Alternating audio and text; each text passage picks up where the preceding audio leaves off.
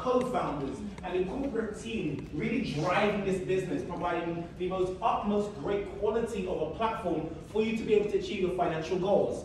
Secondly, we then have our ambassadors that are the face and the beauty behind this business. And many of you asked about things such as magazines, and those things are all coming real soon. The third step of this business, what we're about to share with you now, because we have two pinnacle positions in this company called Senior Masters and Master Distributors. Now we're going to recognize them and introduce them to you for the first time globally in ATM Emporium International. Some couldn't be here, but we're going to recognize them. And let me talk to you first about the master distributors. Now the master distributors of this business are pinnacle leaders have been with us from the very beginning to help lay the foundation of this business. In fact, they're as important as the corporate because without them, we wouldn't be able to touch the lives of the people. And as a company, on behalf of the entire corporate team, we first and foremost want to say thank you for believing in ATM Emporium International from the absolute beginning. You've been through the trials and tribulations, you know, the problems when it came to maybe product distribution or payments, but you've rode out and you've seen us come from where we was to where we're at today. And here's the funny thing. This is only the beginning. So what I want to do first and foremost, before we call on the master distributors, is we want to do a formal um, presentation to everybody, and it's going to be recorded. So can I first ask for all of the co-founders and founders of this business to be on stage as welcome on the master distributor. So let's give a massive round of applause for Ivy Opera Rooms, Bobby Bashir,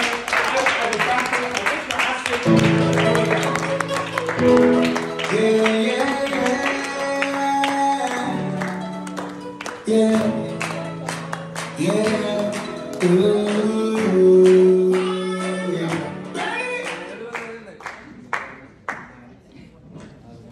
So we're about to introduce our master distributors first. And we're going to call you up one by one. And if you can all come on stage and then take the mic, and we'd like you to share a few words with the rest of the team. So the first gentleman we want to introduce is Adaku. The second person we'd like to introduce is Grace. The third person is Kelkusebe. And the fourth person is Eulogia. So if we can have Adaku, Grace, and Eulogia take to the stage, please. We to welcome you everyone.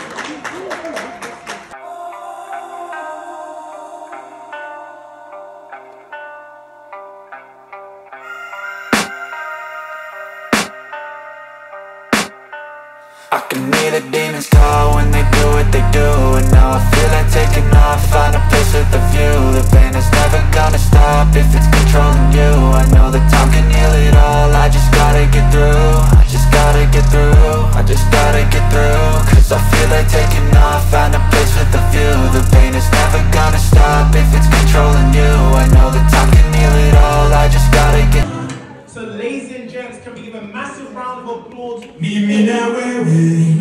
Tuache makelele. for all of our uh, uh, for all of our master distributors here at AT Emporium International.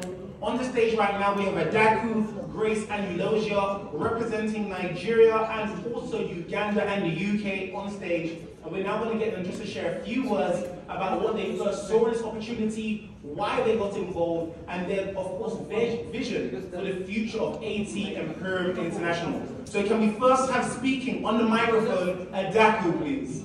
Excuse me.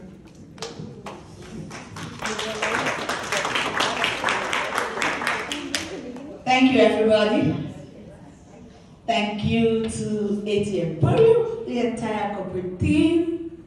Thank you to everybody who's been part of this amazing journey so far. My name is Adaku Wasamba. I hold a master's degree in law. I'm a fashion enthusiast. I saw network marketing first time seven years ago. I didn't quite understand it. It was just about being radical. I was radical for three months and then I went away. So when another opportunity came calling, was my second chance. I went bullish all the way. Did a lot of work. I was enjoying it. It was at that time that I said to myself, I need some training. If I had to go to school to study how to be a lawyer, then I have to go to school to learn how to be a network market- marketer. I took a lot of courses from Eric Worre, Robin Sharma. They made me ready for the business. So when ATM Emporium came in March for me, I knew the opportunity was meant for me. Our CBO had a vision for me. They formed the company for me. I was looking for what to do when ATM Emporium came and I think I put all of me into it. I said thank you to everybody who showed this opportunity to me. I said thank you to everybody who worked to create this opportunity. What we are used to in network marketing, when I ran, why I ran away the first time, points flushed, ranks changed, my downlines got angry, and they all left me. I was supposed to start all over again, and I was like, no, this is not for me. When I joined the second company, I don't want to mention the name, but I will be very, very honest. I was working with a group of people who were on a mission for themselves, who had a vision for just themselves. When I was introduced to AT Emporium, I came and met selfless people. Aisha was in Calabar, Trisha was there, Mr. Sam, ID, and I was sitting with them for about 72 hours. I can't remember saying anything specifically to them. I was just staring at them. If these are the same selfish capitalists who just want you to work and then when they make the kind of money they want, they walk away, then I don't want to be in this. But I saw a different set of people. I was looking at their souls. The moment it magneted, I knew it was for me. So when you're telling me, Adakonwa Samba payments are not going through, you are talking to yourself because ATM Emporium was made for me. When you say there are no products, I laugh at you because I'm thinking about the next five years when our products will be sold on Emirates flights, in shops, in Emirates malls, in spas, in the most important salons in the world. That is what I'm thinking about. So when you say the products are not available, I'm we just started six weeks ago, we just started eight weeks? You're not serious. I'm not worried about the products not being available. Yes, I want to see them. In fact, I started dancing when I saw the products this morning. But I'm looking at the future.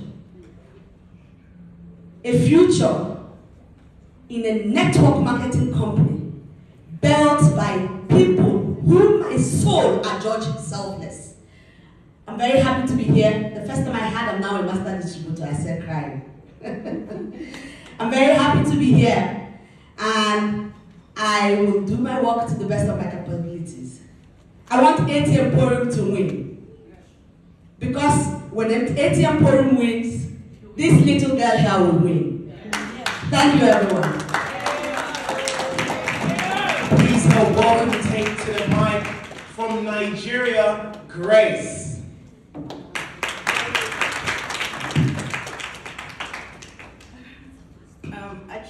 Shy type, like I, I'm very very shy to see in the crowd, you know. But I guess I have to do this. Good afternoon, everyone. I'm Grace. I, I remember when I told myself I wanted to be a doctor. You know, every child wants to be a doctor. You know, so I ended up being a biochemist. Um, I studied biochemistry in school. I, um, I got into school very early at the age of 14 and I graduated 18, so it was also like quite early for me and I served, I served in Abuja and um, I, I was just all about the internet, how can I get a very good job? Because my dad always wanted a good job, you know, for me. And um, I know for me to get a very good job in Nigeria, I have to go do my master's, acquire a lot of degrees, but I told myself, mm, I want to do my master's after service. So during service, I met my mentor, and I was telling him one afternoon that after school, uh, after service, I want to travel for masters, and he was like, why can't you just sit your ass like in Nigeria? Why trying to acquire um, degree? And I was like, I need a job, and I want a job.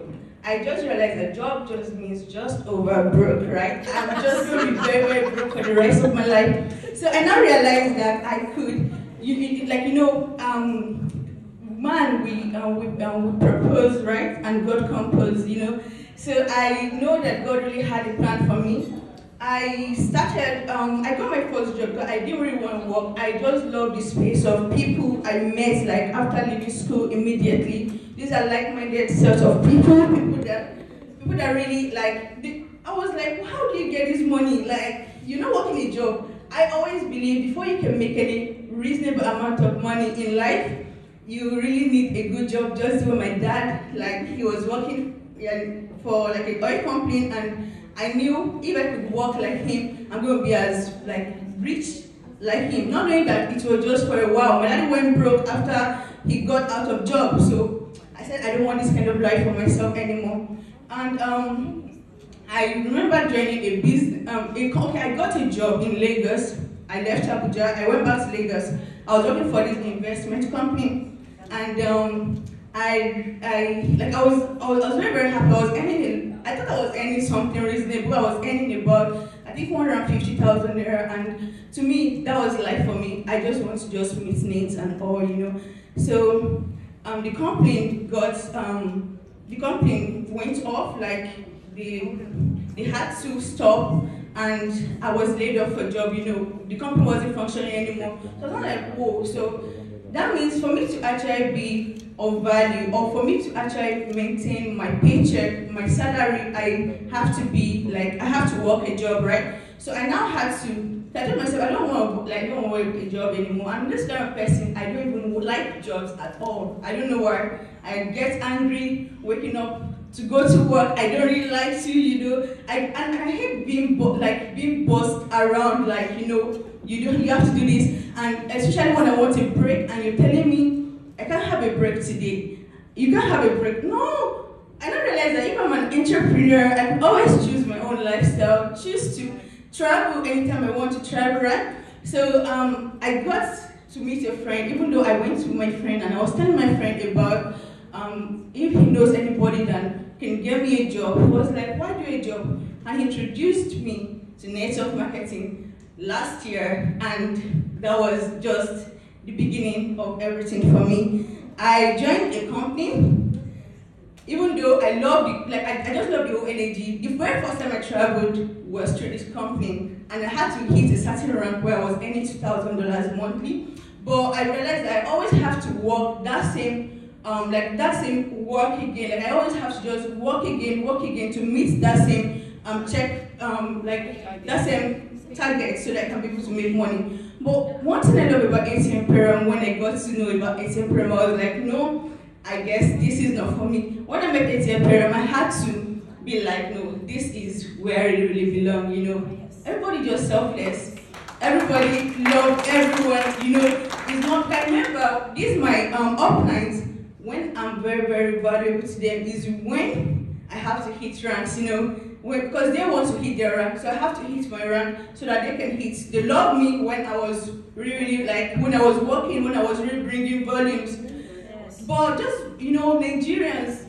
Sorry to say this, but Nigerians are the worst set of people to introduce business to. You know, they will always come for you once the business did not go well. You know, so I introduced some people to the business just because they didn't like. You know, it's not in a day. I didn't like I didn't start earning a thousand, um, a thousand, two thousand dollars in a month. It's it was gradually. So, but people just want to make that money immediately. But yeah, I was I was I was once earning a one hundred and fifty dollars every month before I grew to two thousand. But they want to just be there like right now, and they don't know it can always take process, you know. So I now realize that when I was like I like um, um like I always have to go back to bring the same set of people, maybe 50, 60, 70 to always qualify, you know. And once people, Nigerians are not making money, trust Nigeria will leave. No matter what, you, you can't even motivate Nigerians, you know. Once they're not self-motivated, you can't, don't just bother, just, just move on. But when I got to Pyram, I realized my volume will never flush, like no flushing of volume. I maintain the same rank, you know. Sometimes I hate Mondays, to be very, very honest with you. Mondays are my busiest days in like in a week. Because every Monday I have to go check my back office to see if I'm still maintaining that same rank. If not, I have to keep on calling, calling, you know, motivating people, praying for them. Yes, sir, okay, you know.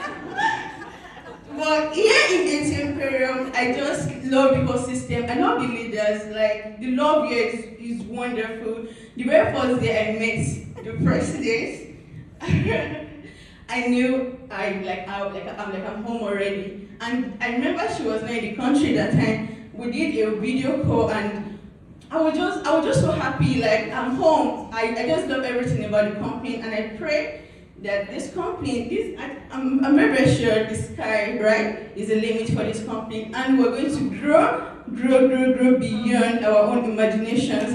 Thank you so much, everyone. Thank you, Grace, and please let's have to the mic our final individual speaking right now, all the way living in the UK but representing Uganda, Eulogia. Um, I wasn't ready to do this speech, but um, it took me by surprise. But thank you, ladies. AT Emporium has really changed my life. I want to begin by thanking God for connecting me with the most amazing family. You are amazing. You are so amazing. I have loved every moment. I know you've worked so hard, and I want to say thank you. Can we please clap for the leadership? Um, my name is Eulogia, Pastor Eulogia, and everything about me is about God. So I know that every breath that I take, everything, everywhere, anybody I meet, every connection that I have, He has ordained it. And He has given me the most amazing family, and that's you. So um, I don't have testimonies like everybody, all the network marketing. I haven't done any of that, just a little bit maybe here and there. But um, my life is all about changing lives. I want to see anybody that I ever meet changed. And that was my passion when I talked to the ladies. They were in London, and I talked to them, and they said, Look, we want you to come on board. And I didn't even know if I could qualify because they talked so highly of this company, and I said, wow, for me to be part of this company is going to be amazing, but I did. I said, okay, and guess what? Within a few weeks, I was just coming back from my journey in Uganda. Within a few weeks, they called me and said, can you do a launch for us in Uganda? And I said, what? I first said, no, I've just come back, I've not been at work, what am I going to do? But guess what? With just the humblest request. I said, okay, I will do that. And I did. I went to Uganda, every all expenses paid. I'd never known of a company that can do that. They gave me the money to do the launch in Uganda, all the money that I needed. And they were on the phone, I could get to them every single moment that I wanted. And I didn't know any leaders that you can get to so easily. Just a phone call. I mean, there were times that we were talking at 2 o'clock, 3 o'clock in the morning, and that was done. So that was my first test to see if this company, and they gave me the most amazing gentleman to go with to Uganda, VP, please stand up. and he taught me everything that I needed to know. We were spending hours and hours in Uganda. He was just packing me with all the information. And the launch was so successful that we had about 30 people lining up to, to join. The only letdown was we didn't have the products. They're like, where the products? We want to buy the products. We want this product. And that was a sign for me that God is in this. Because everybody, I took, every single person that I spoke to wanted to join. And they wanted the products immediately, without even seeing them. So this was a sign to me that this is going to be great. So um, I didn't want to take so much time because I think everybody's working so much. But I want to encourage you and tell you that this is the first time, this is the beginning of your life where you're going to make millions. I, you're talking to a billionaire right now. I'm a billionaire. I can already see that. He was talking about vision. He was talking about faith. He was talking about mindset. That is my mindset. I'm a billionaire and I'm going to change a million lives. That's so key to me. Changing a million lives. That is your that's that's so key to me as a pastor to see lives changed. And together we can do it. So let's do it. God bless you. Thank you. We have heard from all of our master distributors, and we're going to ask kindly if all master distributors can now make their way back to their seats. However, if the founders can remain on stage, if the founders can remain on stage, because there's another group of people that we do need to recognize. If all masters, or all master distributors can take a photo, and make their way back to their seat, and we have a final group of people to introduce before we go into our closing remarks for the event.